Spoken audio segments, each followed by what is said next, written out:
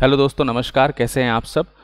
आशा करता हूँ आप सब लोग बहुत अच्छे होंगे, स्वस्थ होंगे, सुरक्षित होंगे। क्योंकि आजकल जो है बहुत ही ज़्यादा कोरोना से लोग परेशान रहे हैं, लेकिन अब धीरे धीरे सुधार हो रहा है।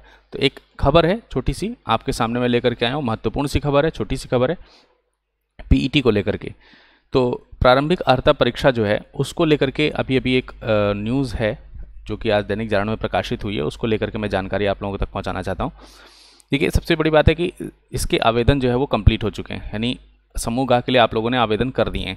अगर आप जो है उन आवेदनकर्ताओं में से एक हैं, देखिए, आवेदनकर्ताओं की अगर हम बात करते हैं तो सबसे पहले हमको समझना है कि पीटी में कितने आवेदन हुए पीटी में जो आवेदन हुए उनकी संख्या कितनी है?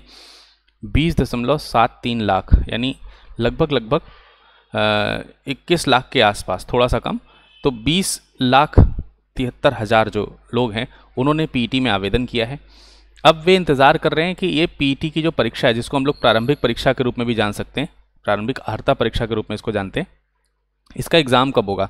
तो इसका एग्ज़ाम दोस्तों यहाँ पर आया है, अगस्त में हो सकता है। इसका मतलब ये हुआ कि जो प्रेजेंट टाइम में जुलाई चल रहा है, जुलाई के लास्ट में, अंतिम में, अंत में हो सकता है कि जुलाई के अंत में एक तरीके से देखा जाए, जुलाई के अंत से लेकर के पूरा सिलेबस डिफाइन करते हुए, सारी चीज़ों की तैयारियाँ पूरी करते हुए, अगस्त में इसका डेट जो है वो अगस्त के लिए इसका डेट जो है वो आपके सामने प्रकाशित किया जाए। तो जुलाई अंत तक शायद हम लोगों को इसकी तिथियाँ मालूम हो जाएँगी कि अगस्त में पेपर अगर होना है तो कब तक होना है। तो पीटी की तैयारी में जुटे हुए हैं लोग कि अगस्त में तैयारी कराई जा सके, जो पूरा का पूरा आयोग है।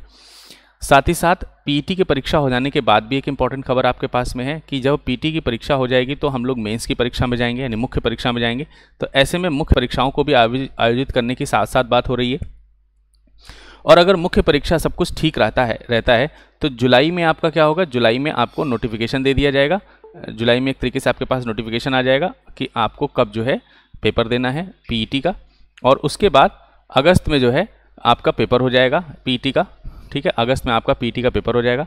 अगस्त के बाद आपको यहाँ पर ये देखने को मिल रहा है कि लगभग लगभग अगर सब कुछ ठीक रहता है तो अक्टूबर में आपका मेंस की परीक्षा हो सकती है। मेंस की परीक्षा का मतलब ये है कि जो भी आ, अलग अलग ग्रुप्स में जैसे मान लेते हैं लेखपाल से कुछ वैकेंसी निकली पाँच हज़ार के आसपास लेखपाल से वैकेंसी निकली तो पाँच हज़ार लेखपाल पदों के लिए आपको फॉर्म भरने का अवसर मिल सकता है। उदाहरण के तौर पर ठीक है?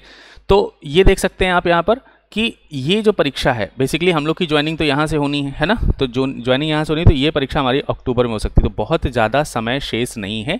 आप देख सकते हैं, जुलाई चल रहा है, आज दो जुलाई है। फिर उसके बाद अगस्त, सितंबर और अक्टूबर। तो इनके बीच में दो बड़ी परीक्षाएँ आपकी होनी है, एक पीईटी और दूसरी जो है इसी की मेंस तो तैयारी में लगातार आप लोग जुटे रहिए, किसी भी प्रकार की सहायता के लिए हमसे संपर्क करते रहिए। ठीक है, अन्य किसी प्रकार के नोटिफिकेशन आते हैं तो उसके बारे में मैं आपको बताऊँगा।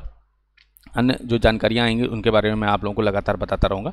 बेफिक्र होकर के अपनी तैयारी करिए, किसी भी प्रकार की समस्या है तो आप मुझसे संपर्क कर सकते हैं। ऑनलाइन कोर्सेज को भी हम लोगों ने चलाया था, पीटी के लिए चलाया हुआ है, जिसमें मैथ्स जो है ऑलमोस्ट पूरी कंप्लीट हो चुकी है। एक दो चैप्टर मैथ्स के बचे हुए हैं, जल्द ही उसको भी पूरा करा दिया जाएगा।